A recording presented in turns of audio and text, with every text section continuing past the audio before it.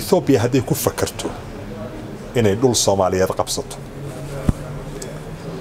Labada qowmiyadooda la dirirtaba waa ka dhib badnaanaysa maxaa yeelay dadka soomaalida si kastay u qaybsan yihiin. Waxaanay ku qaybsamayn badanaa jira oo asaasiya haddana garaad ahaan xumadii cashaa'iriga oo dhibka badnayd waxaad moodaa in laga soo gudbayo marka ninka la yidhaahdo abi axmed hadduu ku fakaro inuu dhul soomaaliyeed qabsado oo dekad xoog ku samaysto soomaaliyeed uu ku qabsado dabcan waxay ila tahay nacfiga uu ka raadinayo kunlaabkiisoo kharasha u dhiibi doona. In dhul soomaaliyeed taakaba allaha ka dhigee dal kala qabsado. Wax fudud maaha. Maya fudayd maahane juthaf fara badan oo soomaaliya ayaa ka sokaynaya. Waana mas'alo jiritaan. Inay ku fakaraanna waxaan u malaynayaa inay tahay laablakac ethoobiya oo boqortooyo ahayd oo laba qolo ay xukunka maaragtay isu bedeli jireen ayaa markii ugu horreysa taariikhda ay ka baxeen khadka maamulka oo tooska ah go'aan gaarista. Marka taasi arrin sahlan maaha wayna dhacdaa dalal badanay ka dhacdaa eeraanay ka dhacday dalal badan waa revolution wa. Qaabka abigu ku yimid revolution saas revolutionkaas qayb ka miduhu waa dagaalkii soomaaliya lagu galay oo invasionkii xamar lagu sameeyey oo ciidamada ethoobia ay galeen oo ay ku jabeen oo iyo dagaalkii eritrea lagu qaaday oo dalalka westernka iyo ethoobiyaanku isku fahmi waayeen markii dambe. Waxa aad qabowdaa naftu ay khushuucdaa marka aad qur'aankiyo qowlka iba barateed qalbigaaga gelisa ubadkood qurxisood qowlka iba bartaad qiimaha adduunkiyo aakhirana ku ceeshta. Qaar kalena ku darso qowlkii nabigiyo allahuma salli calaa muxamed calashaan xadiiskiyo fiqigiyo funnuun kale ayaad faa'iidaysaa. Madrasada macallim qur'aan online oo dhowr iyo toban sano jirsatay waxaa wax ka dhiga macallimiin khibrad dheer u leh qaabka ugu fudud ee wax loo baro carruurta qurbaha. Ardaydu waxay casharada ku qaadan karaan qaab online ah wakhti kasta iyo meel kasta oo ay caalamka ka joogaan macallim qur'aan online waxaa lagu bartaa xifdinta qur'aanka kariimka farbarka ilmaha barashada xadiiska fiqiga iyo culumta kale ee islaamka. Wixii faahfaahin intaasi dheer kala xiriir telefoonada shaashada ku xaran. Bismi illahi raxmaan raxiim mar kale kulan wanaagsan ku soo dhawaada waraysigii qaybtii saddexaad waraysiga aan la lahaa doctor maxamuud macalin daahir aweys oo aan kula kulmay nairobi. Doctor qaybtan waxaan jeclahay inaynu xoogga ku saaro ethoobiya sidaad la socoto ethoobiya dhul soomaaliyeed oo weyn baa ka mida oo juqraafi ahaan hadda ka tirsan iyo maamul ahaanba. Marka laga hadlayo jamhuuriyadda soomaaliya dadkeeda iyo dadka ethoobiyankana waxoogaa foobiyana waa jirtaa oo soo jireena inkastood mar hadda aad tilmaantay inay muhiim tahay in laga baxo foobiyadaas cid baabayn lahayd la helo. Etoobiya gudaheedana waxaa ka socda conflictiyo iyo dagaallo shantii sane ugu dambeeyey ama afartii sane ugu dambeeyey. Marba meel ka qarxaya tigree baynu ogeyn. Haddana axmaara maaragtay dagaalamaysa. dagaalamaysa. Si fiican. Xukunkii waxaa hadda shantii sane ugu dambeysay jooga nin oromo ah oo qowmiyadihii gacantooda ku jiri jira waa ka soo wareegay.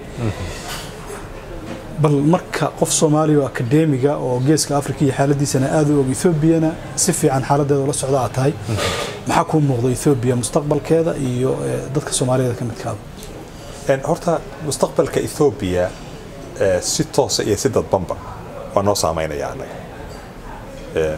khayr iyo sharba waana saamaynaya. Isbedelada dhacayna dabcan kii sagaashankii dhacay marxaladu ahaa. Kii markaan dambe hadda nidaamkii tigreega meesha laga saarayna waa marxalad kale.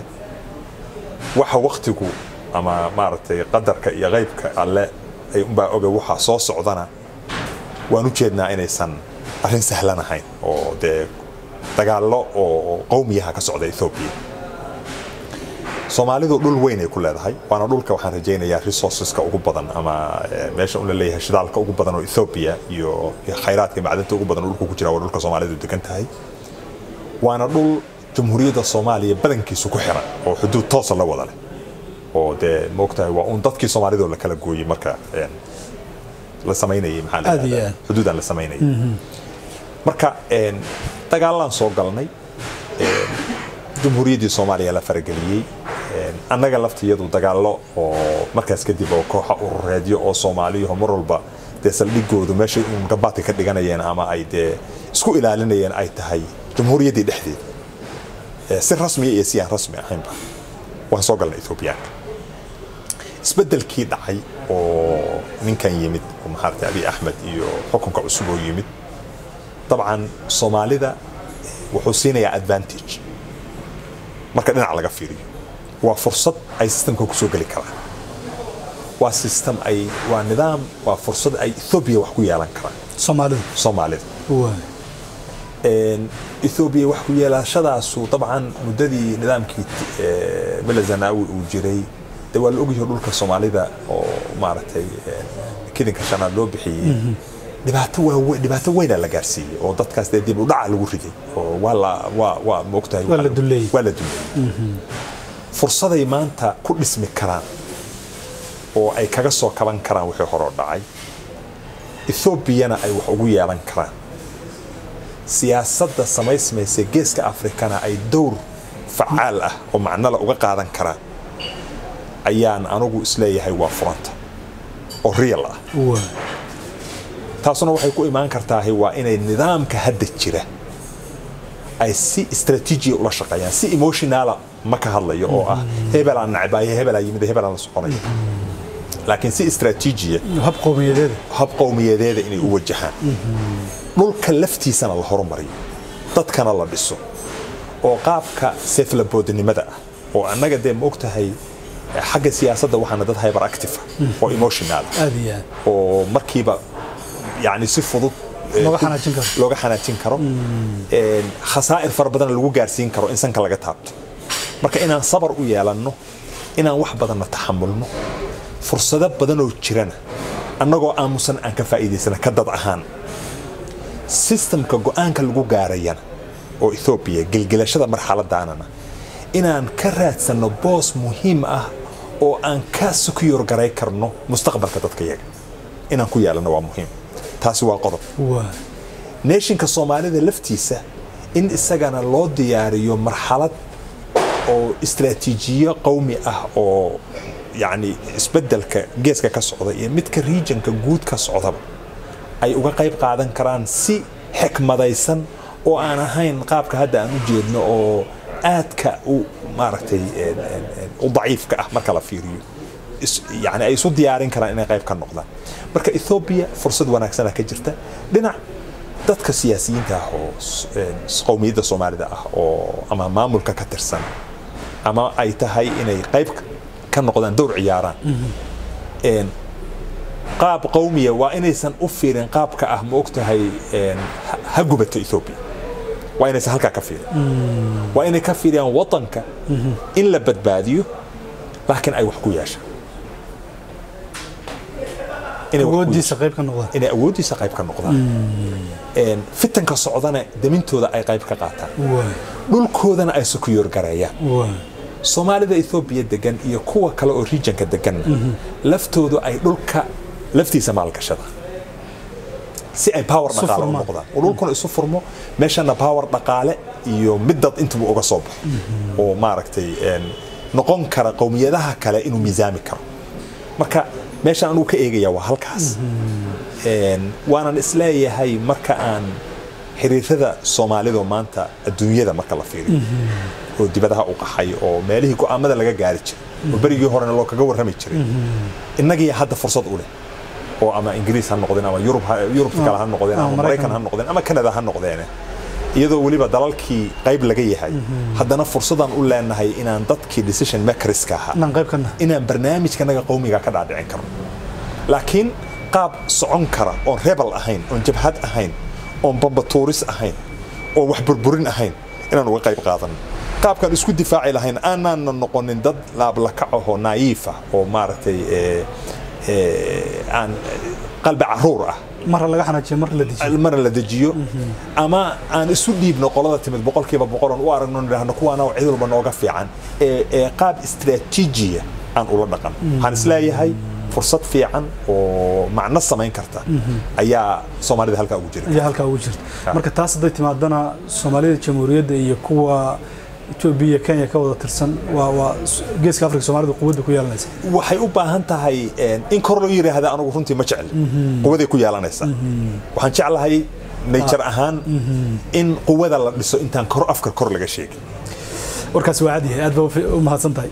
Marka dagaaladan hadda socda kuwa tigreega iyo kuwa naxmaarada iyo ma xukunka abi baa la diidan yahay is leedahay mise qowmiyadahan maxay diidan yihiin dagaalamaya waa fool yani waa makhaad Een,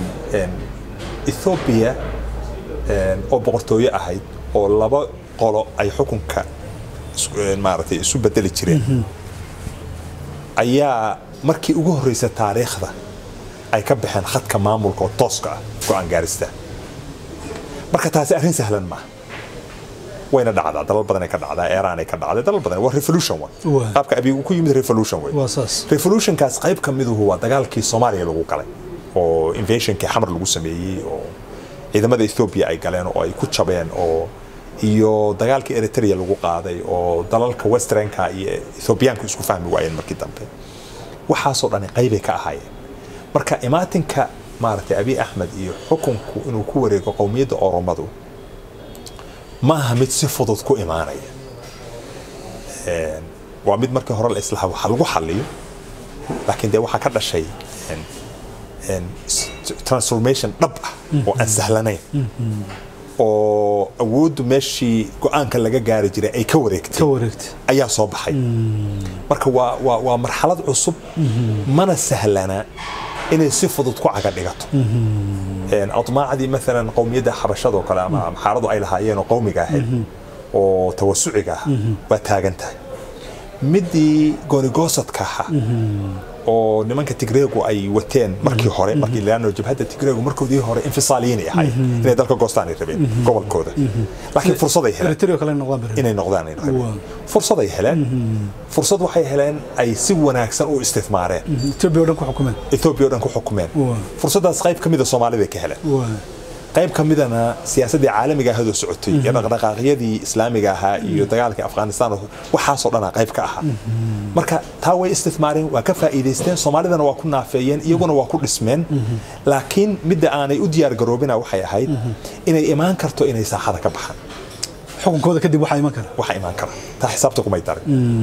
Marka dabcan ilaahay baa allahna wax qaybiya wax walbana asbaabay leeyihiin marka eh, dabcan eh, waqtigii ay bixi lahaayeen.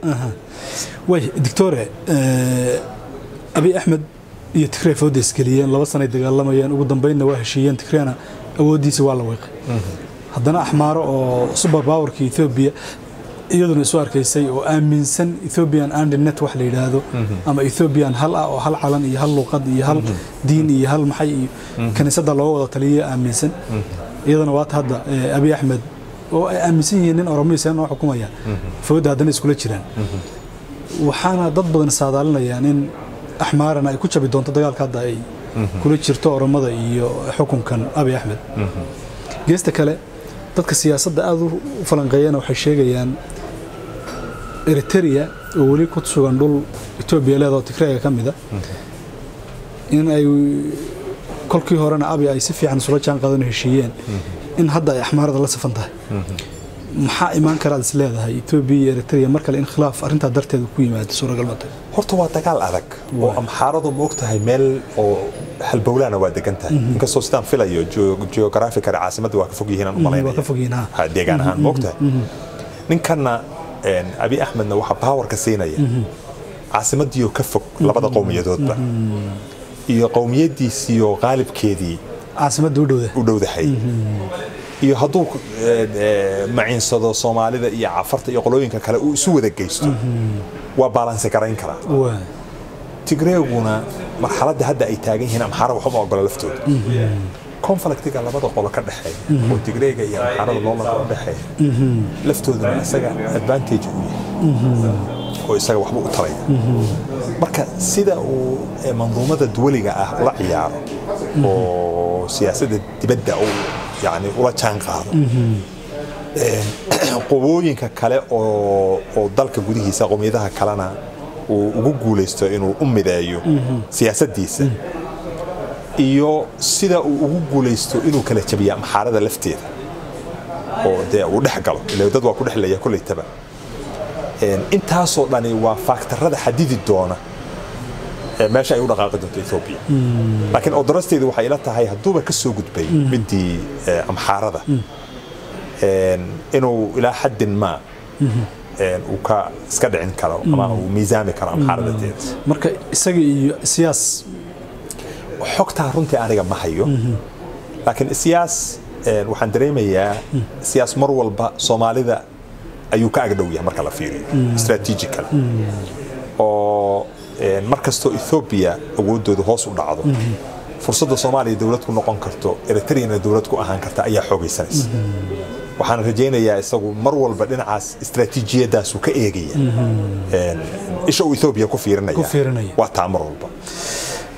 Su'aasha u dambaysa doctore maalmihii ugu dambeeyey baraha bulshada inkastoo aysan xog rasmi ahayn waxaa aada u haysatay taas iyadu waa rasmi. In ethoobia ciidamo bad tababaratay oo ay ciidamo bad samaysatay. Marka waxaa xogtan rasmiga in haysatay waxay ahayd ethoobia walba abiy axmed wuxuu yidhi deked waa inaan hello haddaan weynan xoog baan u isticmaali doonaa.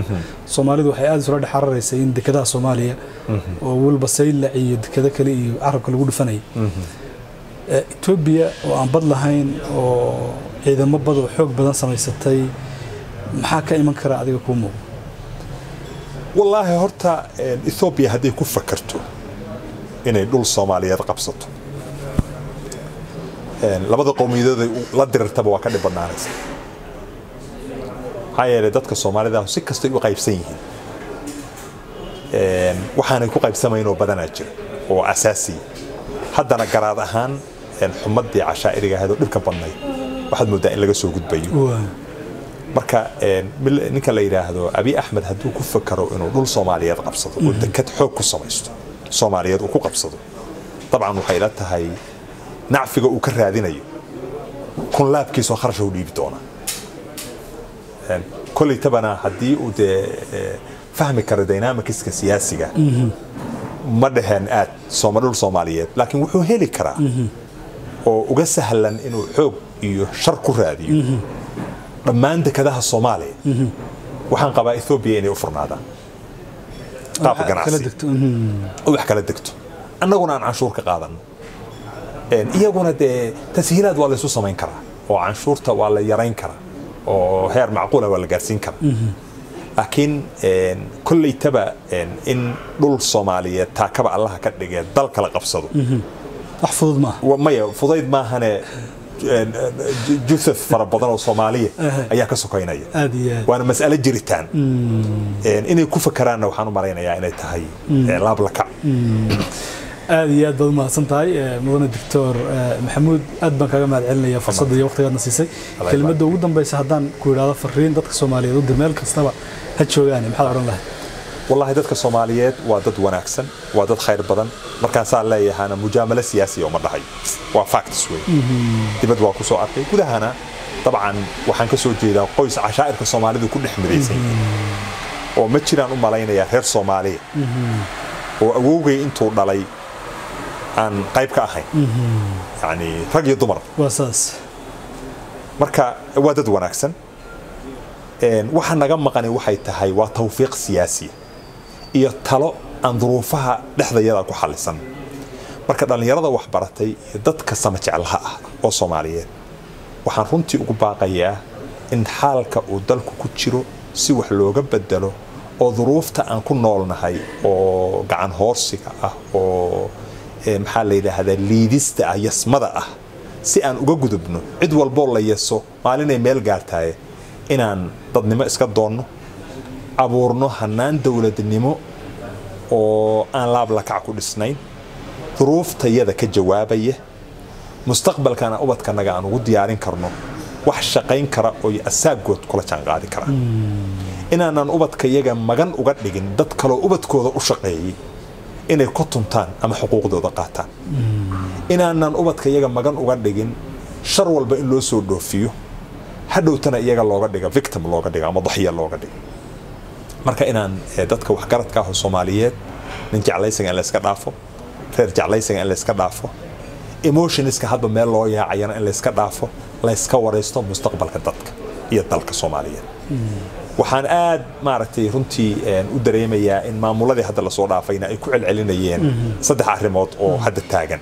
Oo mid ahayd deen cafinta midda la xiriirta hubka maxaa la yidhaahdaa een, cunaqabataynta. hubka. Een, iyo midda saddexaad oo ahayd saddex arrimoodoo dee dabcan ugu xooga badnaa.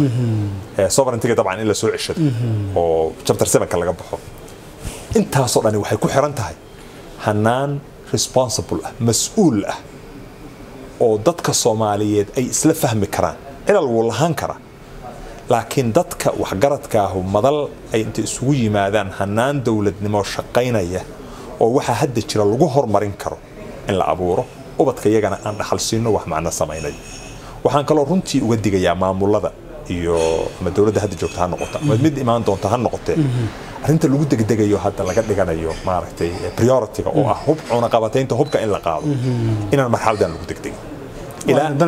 Aan dani hadda noogu jiro in dadka yaga aan marka hore midayntooda ka shaqayn.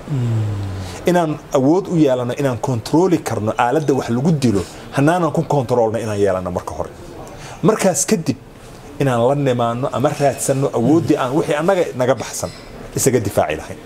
Amniga guduhu uma baahna dabaabaa dibadda ka yimaada iyo diyaarado. Ee waa arrin u baahan xirfad iyo farsamo iyo adkaysimo iyo istraatiijiyo looga gudbi karo. Intaasoo dhan marka waxay u baahan tahay maskax laga shaqaysiiyo koox gooni u oroda ama u qaadato xukunku inuu haniimo yahay. Ma xaqiijinayaan.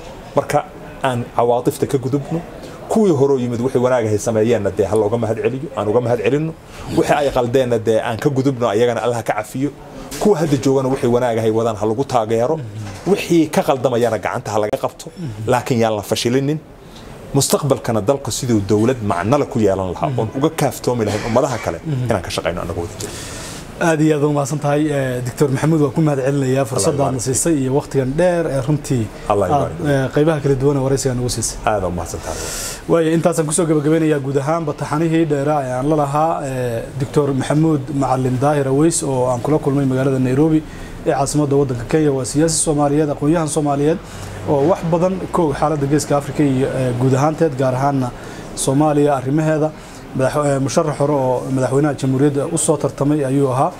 Aad buu mahadsan yahay. Intaan mar kale kulmi doonana waxaan leenahay sidaas iyo nabadgelyo. Wasalaamu calaykum waraxmat ullaahi wabarakaatu bismi illaahi raxmaan raxiim eh, magacayga waa warsame maxamed cabdinuur. Eh, aad baan u salaamaya asxaabtayda. Inta muuqayga iyo magacay garanayso iyo cid walba oo soomaaliya. Halkan waxaa weeye guriga safina balasa ee sabanka qaybta masaajidka qaybta sabanka ku dhegan andhi garoonka aad iyo aad baan u soo dhaweynayna macaamiisha daahiyo roogag raalli geliyo oo aad ogu- oga helaysaan baa meeshan yaalaan iyo aad baan usoo- idin soo dhaweynaynaa daahiyada qiimahooda waa qiimo aad u jaban ciddi markaad aragtaan nin walba wuu ogaan doonaa qiimaha aad u hooseeya ee roogi waa sidoo kaleeto qiimo jaban baa igu imaanaysaan insha allah nin cid walba oo danaynaysa inay dah gadato ama roog gadato inay halkaa igu soo hagaagaan